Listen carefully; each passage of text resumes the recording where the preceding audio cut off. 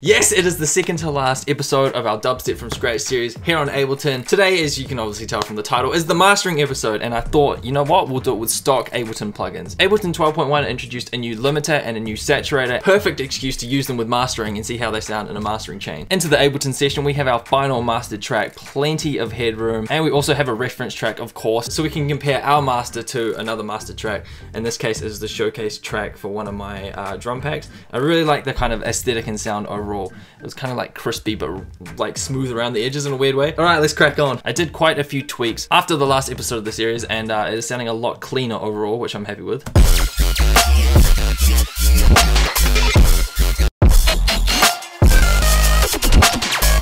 The bass is at a more consistent level, more effects, more flow, more... First off, how do I want to start off my chain? Bit of EQ8 would never hurt. We have some random bullshit frequencies down here? Yes, we do. If that's 30 hertz.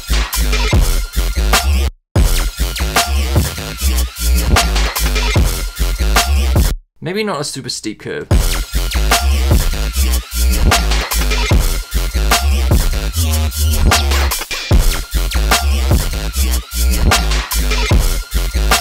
I'm purely looking at the visual kind of representation here. See, I don't need sub bass down there, but um, and I'm also listening to if the sub bass is getting ruined, which it's not, so that is not too bad. First EQ of the mastering chain, typically cutting instead of boosting. I wouldn't really boost too much on a mastering chain unless it was like multi-band or it needed a little bit of character at some part of the frequency spectrum. So I like to find notches of the track um, with a very steep Q for an EQ filter. And once I find one, just bump it down. And then do that as many times as I can kind of not butcher the sound, but like not completely strip away the character of the sound, but if there's any nasties in there. There may be resonant E because it's like the main kind of root note or frequency of the uh, scale.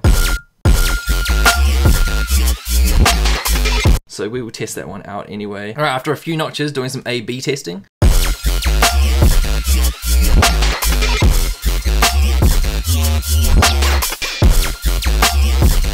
That one definitely tightens up the kick. I'm really happy with that. A little bit of character has been stripped on the high end, so um, I'm going to ease up on these notches and see which one is the culprit.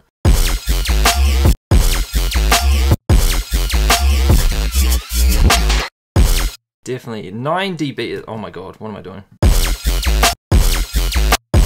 Yeah, maybe we don't need 10 dB of that. This is definitely where practice makes perfect comes into play and relying on your ear a lot uh, to see whether you're making it worse or better.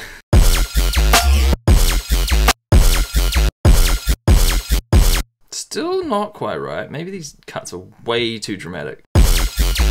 Maybe there?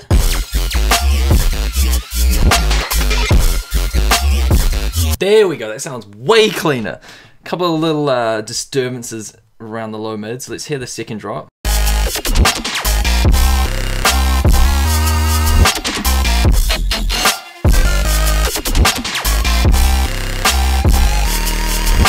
This high pass is definitely interfering with some of the really low bass notes we've got.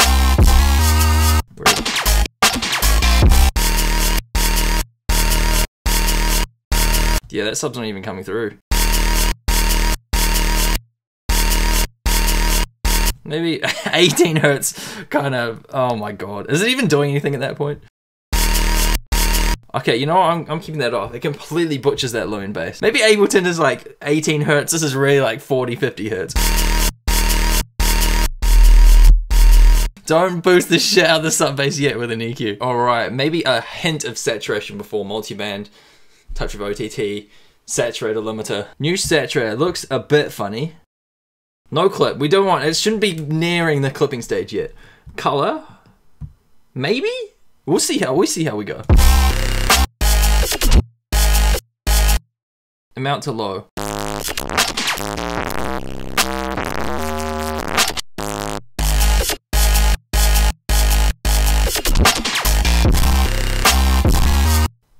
Why do I weirdly like that? Can we just add the littlest bit of Nokia brick phone recording? 2%. No, why not put negative 2%? 40%.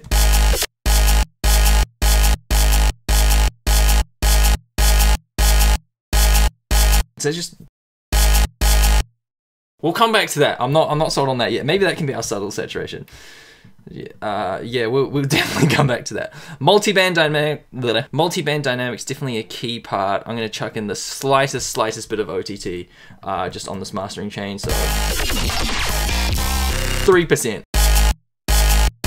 We're going to be A-Bing all these uh, effects that we're adding later on, just so don't make it worse.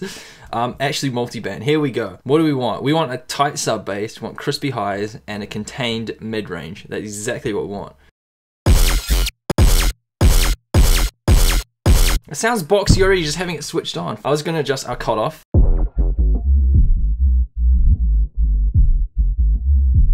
Cool, the snare's not coming through. Actually, that sounds way better. Uh, what do we want? Threshold. It's basically three mini compressors right here, but for a specific frequency band. Tiny bit of compression. What do we say? What did I say before? Contained sub bass? No, tight sub bass. Let's uh, really crank this. I really want the kick to just bypass and then the compressor latch onto the sub. So we have like a really slow attack. So we give the kick a chance to just sneak through that uh, compression, but then latch onto the sub. All right, now let's swag. Okay, mid range, same thing. Snare just needs to slip through the compression, and then the compression latches on to our mid range, mid range, mid range. Oh, now we can really hear.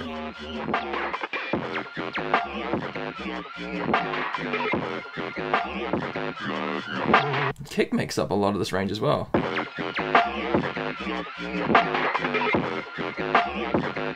Contain low end, okay.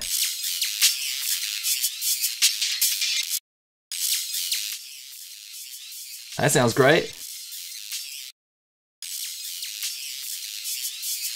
More crispy contained highs. For attack and release, I typically like slow-ish attack times, fast release. You get the transients coming through and then the compression latches onto the rest. So it's still like a punchy, crisp mix instead of just like everything's contained because the attack's too high. But we draw for that back. We don't want 11 dBs of uh, compression. See, way too contained.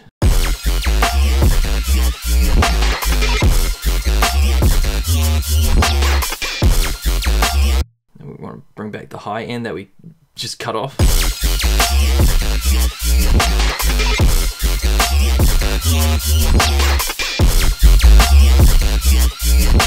Before and after. Still not punchy.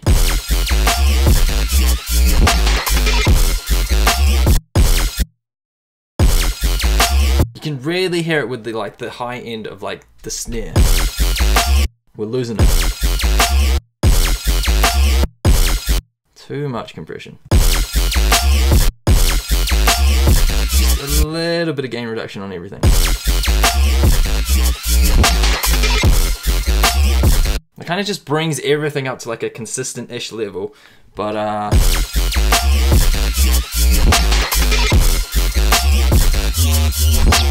Oh my god, I just thought something we didn't do early on. So we'll adjust that later as well. We've got a lot of things to adjust later. Need to go back and introduce mid-side. So you can change your EQ from stereo, how it normally is. Affect everything, or you could change it to mid slash side. So this will control the middle of your stereo width and the sides of your stereo width. So, so have a listen.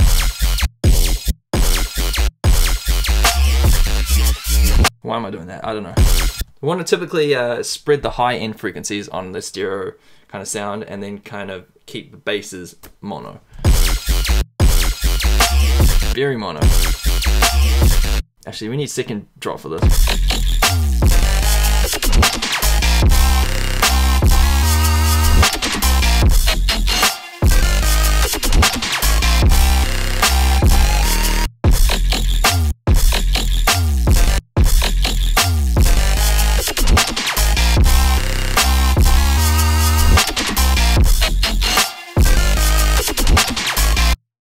More contained. I think I had the stereo image pretty well worked and uh, the mix down, so I don't need to really tweak it for the uh, master.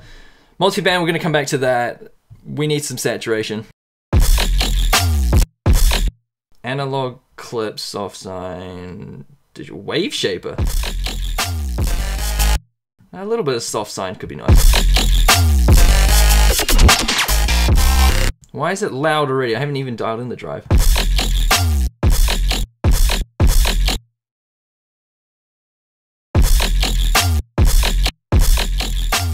Actually, let's keep the drive normal. Output.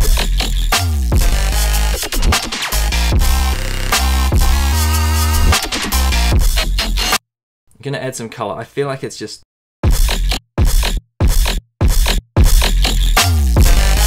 The saturation that it's doing to the bass, ain't it?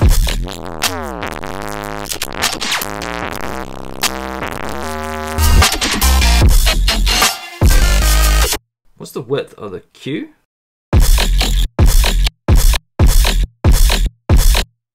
See if this does anything.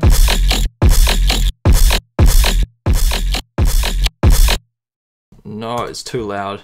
It's not a good AB if the volumes are too different. Bring it up a tiny bit. No, not you.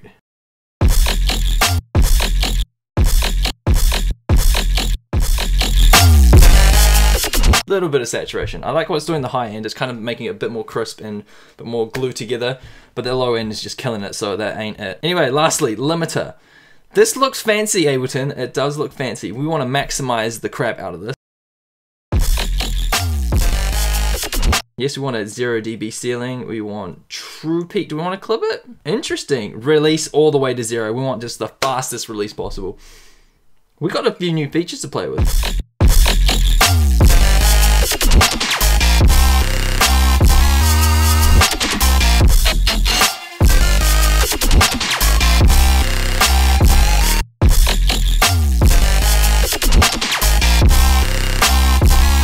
Soft clip just sounds. Mm. I think True Peak sounds gangster. Anyway, let's see how loud we are making this. True Peak sounds gangster. Oh shit. Here we go again. I was gonna say negative six. I always do that with uh, mastering. I try aim for the RMS, which is like the average volume uh, of the master for negative six.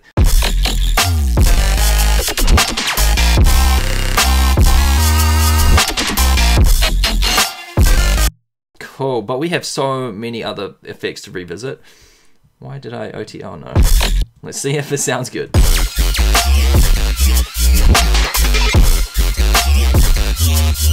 You know, OTT, you're going. You're gone. I don't know, the bass wasn't just pulsating right with that wub.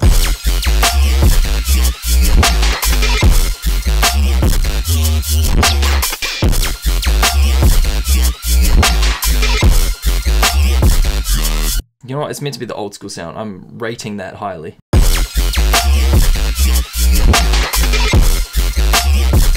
Okay, I like a midway point between on and off, so I'm just gonna ease up on these values.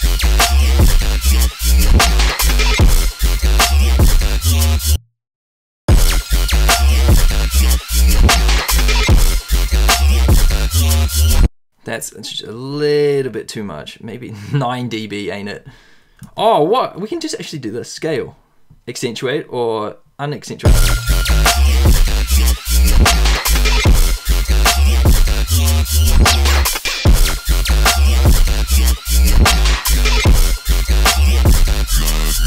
Main, okay, okay. What else do we have? Is this our multi-band?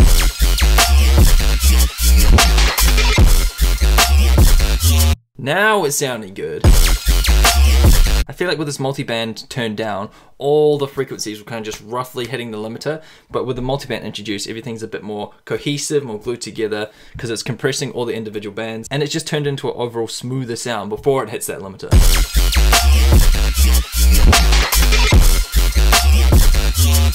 We actually need to reference this to our reference song, instead of just listening to the track with effects and having nothing to compare it to.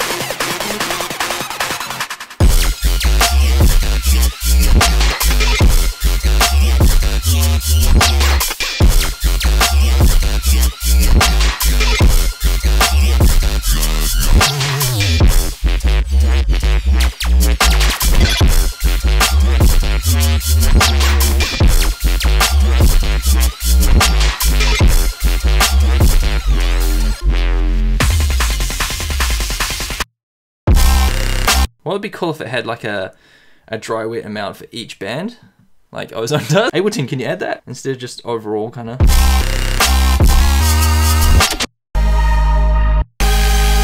This bit's new as well. I worked on this since uh, the last episode. It's sounding way cleaner.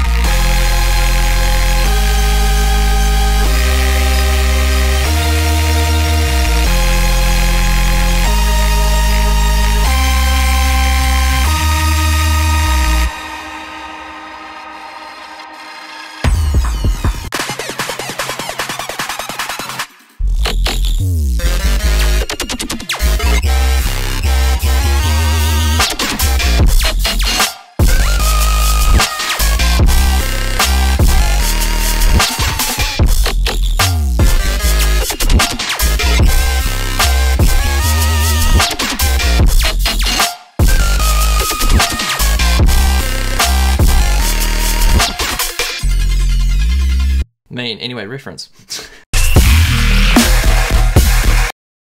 oh my god, I can tell that's already so much more wider. That's what the reference is for.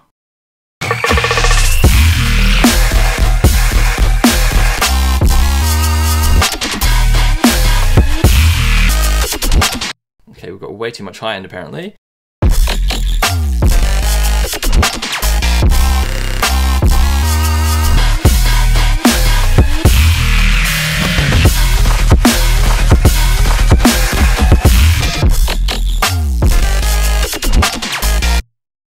And more mids. No, actually.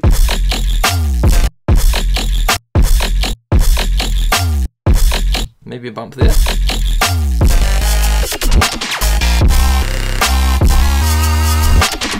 And it feels...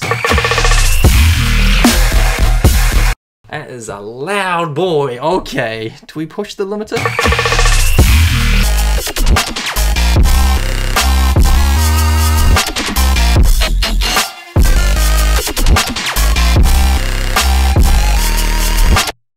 What our waveform's looking like. If it's a sausage, then it's, it's gonna look like a sausage anyway. What am I on about?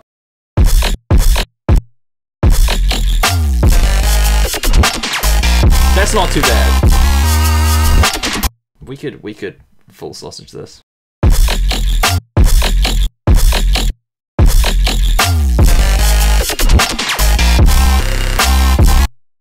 Like how it was before. Anyway.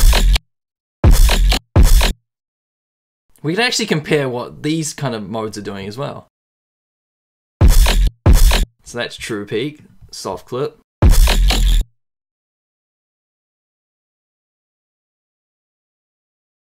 Bit more beefed up and louder. Is it actually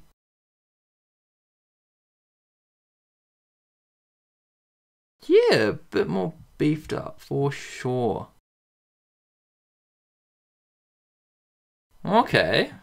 And True Peak Well, We had True Peak before.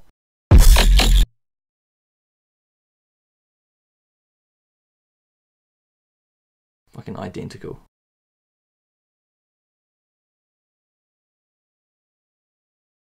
True Peak's loud.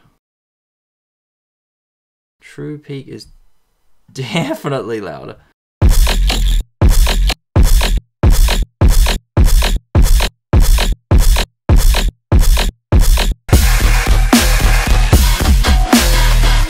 Comparing the mastering of Ozone versus uh, stock standard plugins. Ableton's doing a good job, Ozone's just like on another. Ozone's built for mastering. Ableton's built for everything. I reckon that's a good starting point. I'm happy with that. And obviously, like I said at the end of all mastering videos, go give your ears a break, then come back to it, see what needs to be tweaked. Rinse and repeat that cycle on and on and on until it is done. And that is that. Hopefully you learned a thing or two. That was a lot of fun. Ableton's new limiter is Gangster.